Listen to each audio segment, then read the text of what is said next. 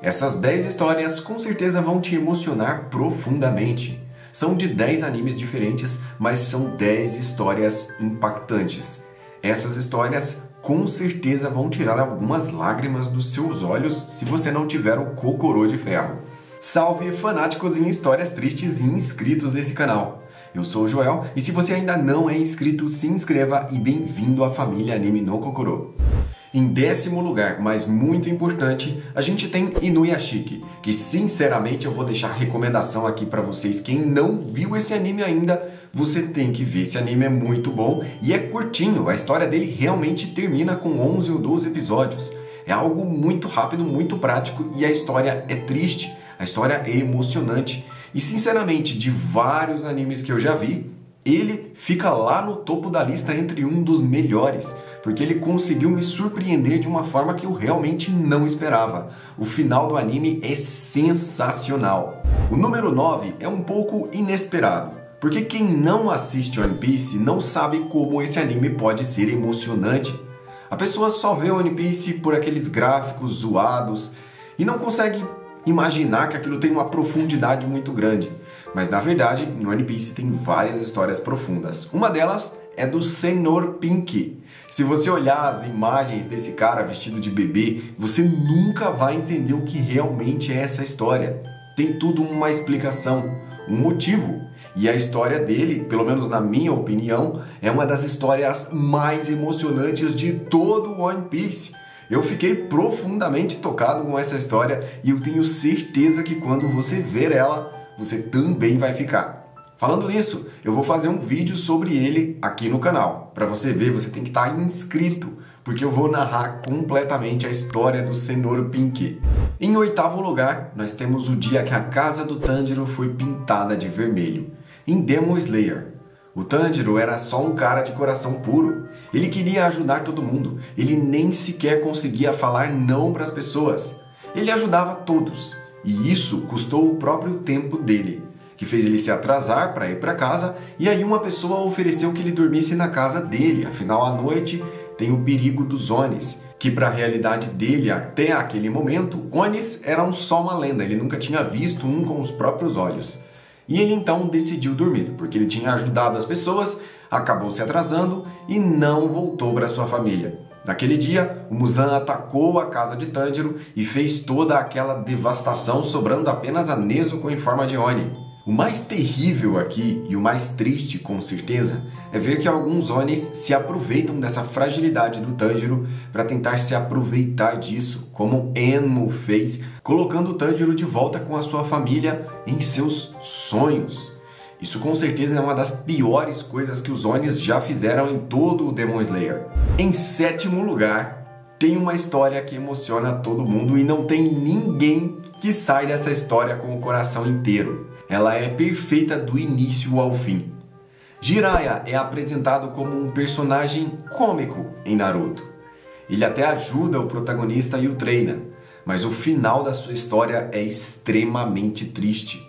E não tem nenhum fã de Naruto que não tenha se emocionado ouvindo aquelas músicas, aquela trilha sonora com o Jiraiya encerrando a sua vida da forma que encerrou. Em sexto lugar, a gente tem uma grande trollagem de uma autora, em Jujutsu Kaisen tem uma grande trollagem chamada Junpei. A gente achava que o Junpei ia voltar. A história dele é triste. Ele era um cara triste. Ele tinha que voltar, ele merecia voltar. Mas o Junpei nunca volta. É até mostrado em algumas imagens especiais ele lá, feliz, junto com eles na escola. Mas o Junpei, na verdade, teve uma trágica história de horror. Em quinto lugar, temos um anime que não é uma história específica, mas toda a história do anime. A primeira temporada de Tokyo Revengers, ela pode tocar no seu coração.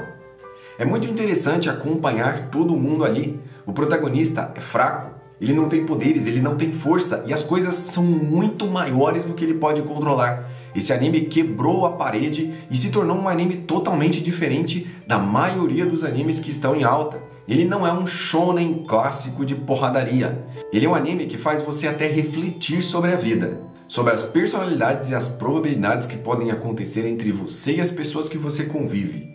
Ele viaja no tempo. E essas pequenas e desordenadas viagens no tempo faz ele se ver como era antigamente e refletir que ele só chegou onde chegou porque ele trilhou aquele caminho e agora ele pode fazer as coisas de um jeito diferente.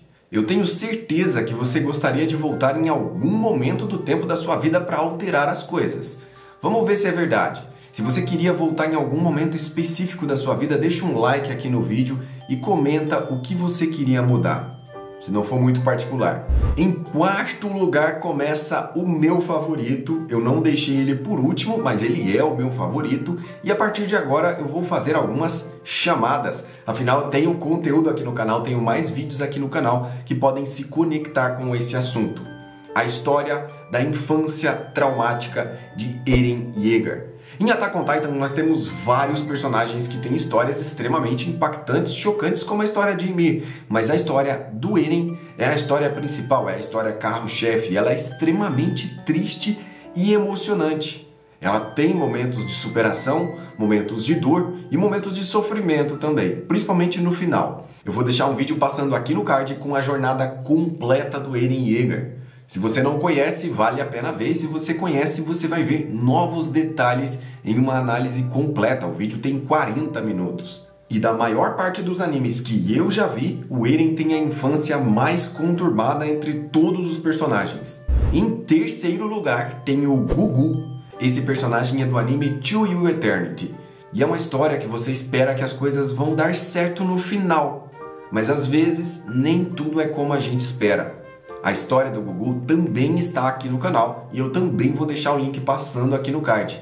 Lembrando que todos esses vídeos que eu estou falando e essas histórias tristes estão aqui no canal na descrição desse vídeo. Você pode encontrar elas em ordem na descrição do vídeo ou clicar no card e deixar em outra aba aí para você ver na sequência.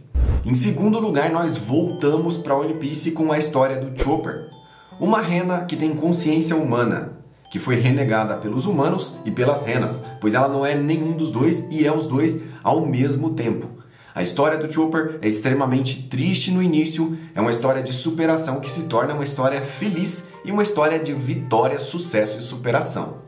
A história do Chopper é uma das melhores histórias de One Piece, mas só não é melhor do que a história que vem agora. Em último lugar, nós temos a história do Sanji. O Sanji é um dos personagens que mais tem história em One Piece. Entre os principais, ele é o que mais tem história. E a história do Sandy é extremamente complexa. Não só a sua parte adolescente, a sua parte quando criança, quando ele estava com a sua família Germa. Aqui no canal eu fiz tanto o vídeo da história da família Germa quanto o vídeo da história do Sandy. Os dois estão bem completos. E o Sandy sofreu demais na sua vida. Quando ele era criança, quando ele era adolescente, todo lugar que ele ia era apenas sofrimento. Ele foi obrigado a usar máscara de ferro. Ele ficou perdido em uma ilha passando fome. Ele teve que aprender a cozinhar para sobreviver e para se reerguer. E só assim, um dia, encontrar um cara com chapéu de palha que ia chamá-lo para sua tripulação. O Sandy tem uma baita história. Ele é um personagem muito bem feito, assim como a maioria dos personagens de One Piece. E se você ainda não viu One Piece e gosta de histórias emocionantes, assista porque você vai se emocionar muito.